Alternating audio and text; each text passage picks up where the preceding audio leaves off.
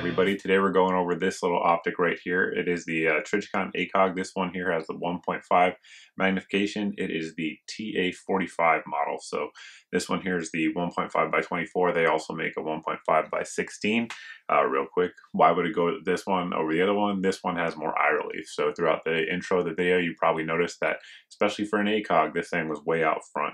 Um, that's because it has a really, really good eye relief, which we'll get into a little bit here in more detail. But 1.5 power scopes, particularly ACOGs, don't sell as well as some of the more higher powered ones.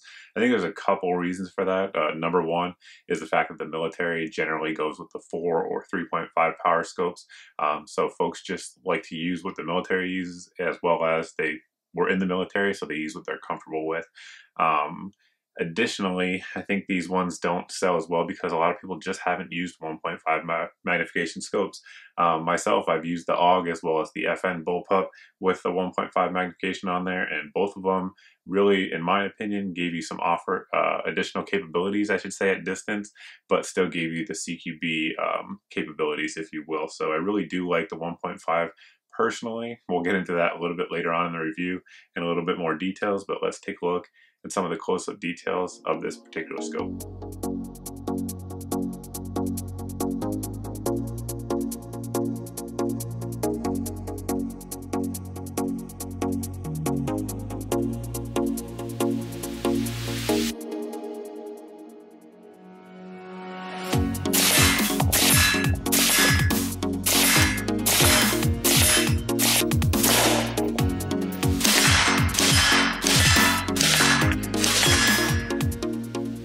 The optic comes shipped in this nice little polymer case here. It's got padding on the inside as you guys can see, which keeps it protected if you want to store it in there. You have your nice reticle uh, guide in here as well as user manual. We have our uh, sticker and I think the tool you need to adjust it. It also comes with a uh, M16 carry handle mount. Um, if any of you guys out there still have those and it comes with a lens pen, this is used to clean the lens um, if you want to do that. Before getting into the details on the optic itself, I want to discuss the mount. The mount is not a Trijicon mount, it's American Defense Manufacturing. This one here has the two throw levers, which is designed for the larger ACOGs. Of course, it works just fine on here, but you'd probably be a little bit better off weight-wise with one of the uh, one clamp mounts. So uh, either way will work just fine, but we'll put links down below for those looking for that. Now, let's get into the optic itself. Basic design is that it's powered by two different sources. Number one is the fiber optic rod that you see up here. Number two is the tritium insert inside the actual optic itself. So even in low to no light situations, your reticle is going to be illuminated by that tritium. And that tritium, by most accounts, is going to last somewhere between 10 to 15 years. So very durable there. And if it ever goes out on you while you have it, uh, Trijicon will replace it and retrofit it for a small fee. Um, I've actually even heard of folks getting them replaced for free, but I'm not going to make those guarantees. Uh, I believe there is a fee, but it just depends who you talk to, I suppose, at customer service. But um, you can see here when I actually cover up the fiber optic that the tritium is still glowing. Of course, in low light, you don't need a huge bright reticle, which is what this fiber optic rod is going to give you there. So it provides a pretty good sort of auto-adjusting reticle for most situations. The only thing I'm going to say that's sort of a downside to it is that the fiber optic uh, sometimes can gather a little too much light on bright sunny days. That's really on all ACOGs. That said, on these smaller ones, being that it has a smaller fiber optic gathering tube, it's much less of a problem than it is on the big brothers. So not a huge deal and very, very rarely will you ever run into it at all anyway. On the bottom portion of your screen here, we have a TA31, which is a great optic. It's a four powered optic and uh, really it's very good for what it is. Now, some of the advantages of the lower power optic, the biggest one in my opinion is going to be eye relief. The TA31 has about a 1.5 inch eye relief, whereas this one on paper, they say it has a 3.6 inch eye relief. However, I've mounted it out really far. We mounted it out actually on the KMR rail for the BCM rifle and you can still see it just fine. So it has a lot more eye relief. Um, so you can mount it forward, of course, giving you a little bit more rail space towards the rear if you guys want to put anything back there. Additionally, if you're using like an AK and you have a mount that's forward, that's going to be a big advantage of this optic versus some of the other ACOGs out there. So what you lose with that longer eye relief compared to some of the other models is field of view. So the field of view here is going to be a little bit more narrow um, at 100 yards, say, than some of the other ones that are going to be maybe 10 feet wider. So pros and cons, but of course, if you're shooting with both eyes open, that's really not much of a big deal anyway, because you're going to have the situational awareness regardless.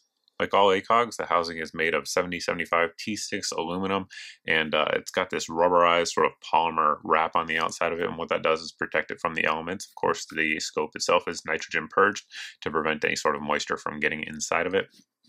Now this is submersible down to 100 meters, so that's pretty impressive uh, that you can do that. Of course, what you have to do in order to get that type of submersion submersion capabilities, make sure your caps are on tight. They are O-ring sealed. And uh, while we're at, on the subject, you can see here the windage and uh, elevation knobs are located on top and sides. And uh, you do need a screwdriver to adjust these ones or some sort of, you can use actually the rim of a 223 bullet works as well. Um, but they are half MOA clicks. So you're roughly talking about half an inch of adjustment at 100 yards which, with each click. The 1.5 and 2 power magnified optics in the ACOG line really aren't as popular as some of the other ones, so we're going to give you a quick size comparison with another ACOG and some other optics. Uh, this is the 31 we showed you earlier. You can see it's pretty much uh, same length, I guess you'd say, but it's just beefier all the way around. It's thicker because they have to get those uh, additional lenses, or larger size lenses, I should say, in there to magnify. So of course both are prism scopes, which is a very durable design. This here is a, a uh, Aimpoint R1 on a Fortis mount, just to give you guys a size comparison there. So it's certainly going to be a little bit smaller. Now, when we're talking about comparing the uh, Aimpoints to this, which I'm sure is a natural question a lot of folks are going to ask, uh, yep, this one's a little bit lighter, um, but neither of them you need to replace batteries so that's a huge thing for sort of a bedside gun in my opinion you just pull it up and it's always ready i definitely like that um, this is of course you can adjust the brightness manually on this one it's sort of automatic and one sort of big pro for the ACOG over the uh, Aimpoint line is the clarity of the glass. It's huge. It's it's not even close. Like you know, your Aimpoints have a slight bluish green tint, depending on whom you ask. These ones are crystal clear. Um, you absolutely cannot complain about the glass in the ACOG. It's just top notch. And uh, this one obviously is going to give you a little bit more magnification, which is going to allow you to engage things a little bit uh, at a little bit further distances consistently. Uh, last optic we're going to compare it to is our EOTech. I believe this is the uh, XPS2. So you can see size-wise sort of how that compares. Um, just for those folks that have these optics and might want a size comparison. One thing I didn't really harp on so far in the video is the durability of these optics. ACOGs are known for just being some of the most durable optics made. Um, here on the channel, I often recommend Aimpoints due to their durability and battery life. I'm going to say that the ACOGs are going to fall right into the same category in terms of durability and obviously battery life because this particular model doesn't have a battery. So um, I really do think they have a lot of advantages in terms of durability. You people have dropped their rifles out of uh, helicopters, have been blown up in IEDs and stuff like that. Their barrels have been bent, but their ACOGs have been functioning. So um, stories like that really sort of add to the legend of the ACOG that it's developed over the last 15 to 20 years with a lot of combat experience behind it. So um, durability is really unquestioned, in my opinion, for the ACOGs top of the line. So durability comes at a cost, though. These things aren't cheap. We picked this one up over at Georgia Optics. I believe right now they're like 990 or 980 or something like that.